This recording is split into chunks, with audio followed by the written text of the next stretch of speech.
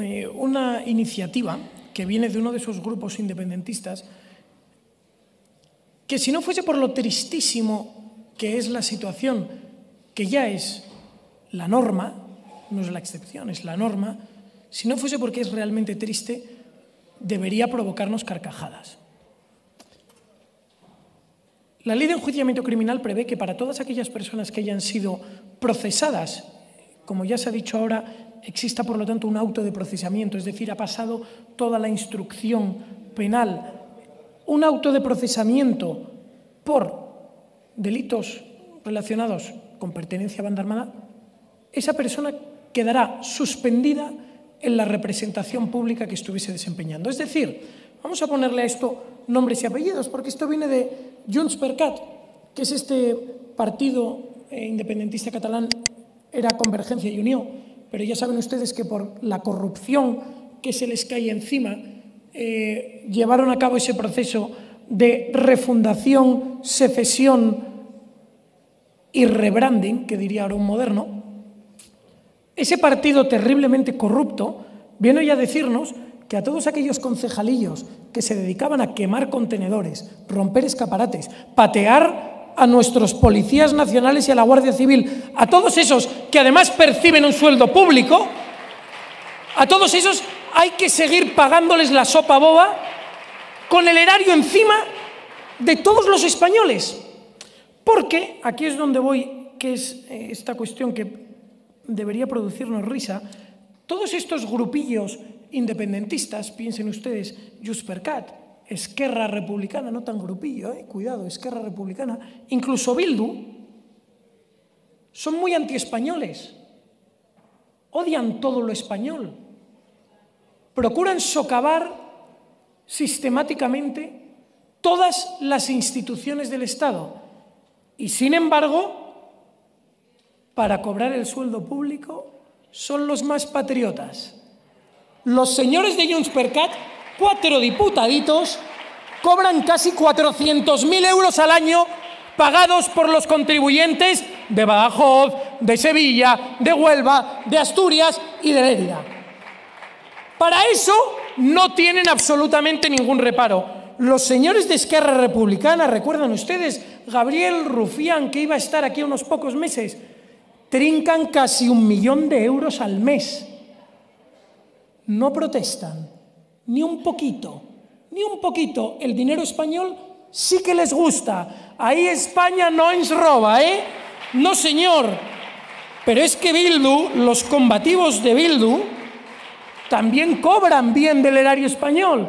El señor Oscar Matute, que hoy no está, no vaya a ser que se gane el sueldo con su presencia, el señor Oscar Matute, eh, esos amigos de la ETA, cobra 117.000 euros al año del Estado español que tanto deploran.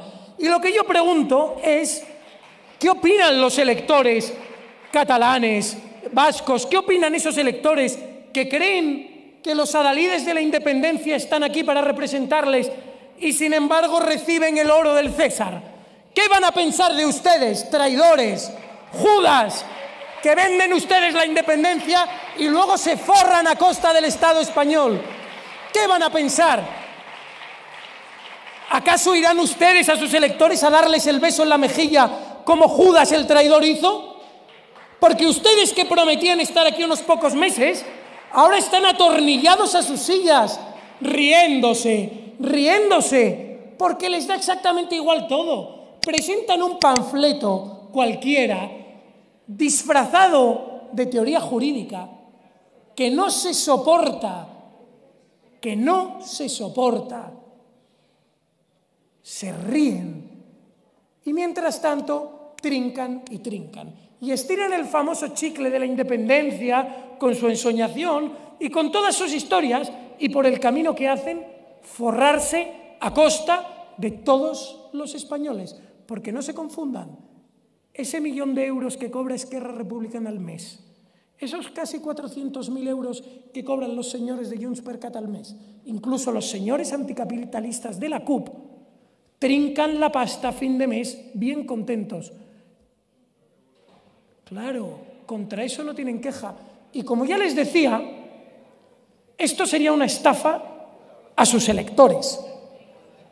Pero es que ustedes emplean el dinero de los españoles para socavar de forma sistemática cada una de las instituciones públicas que ustedes tocan, para insultar a la Guardia Civil, para insultar a los jueces a los que apodan de togas, que dicen que si son fascistas, que si no. Y por el otro lado, siguen cobrando de España.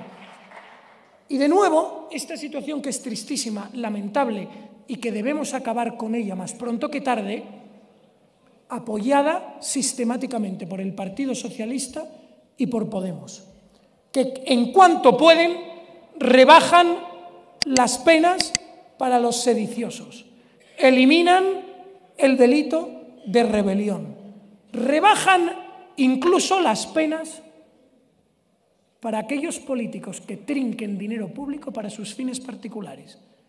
Llámense putas y coca del Partido Socialista o llámense referéndum ilegales de los independentistas catalanes. Nos encontramos con que los independentistas con el dinero público español se forran y el Partido Socialista con la representación que los pobres electores estafados del socialismo les han dado, apoyan a aquellos que socavan las instituciones públicas. Pobre España. Pero gracias a Dios aún hay esperanza, porque está aquí Vox para plantarles cara a todos ustedes, porque creen que a los electores con sus mentiras les pueden engañar, pero a nosotros no. Y pelearemos cada día para desenmascararles y para que los españoles de sus circunscripciones vean los ladrones, Señoría, y mentirosos que son ustedes. Muchísimas gracias. Gracias.